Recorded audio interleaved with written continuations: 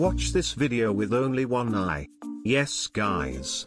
In this video I have an eye test for you, and if you pass this test, then you're awesome. So are you ready? Let's start. For round 1. You need to close one of your eyes, so, close it. Done? Okay. Look at this color carefully. Like the video if you saw red.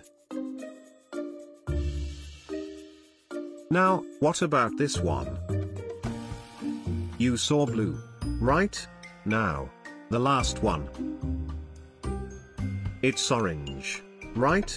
Well, now you can open your eye. But wait.